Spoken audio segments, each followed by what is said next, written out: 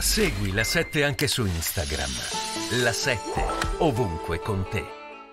Franco Bernabé, poi ti do subito la parola a Lina Palmerini, perché No, questo certo è un che è tema così, molto delicato. Certo che è così. L'Italia ha una popolazione di eh, 54 milioni di abitanti in decrescita fortissima. Ha 5 milioni di immigrati eh, che in maggior- nella maggioranza hanno un lavoro abbastanza, diciamo, non, non precario. Eh, quindi ha un rapporto immigrati-popolazione di po' meno o intorno al 10%, che è fra i più bassi a livello europeo. Tutti gli altri hanno più del 10%.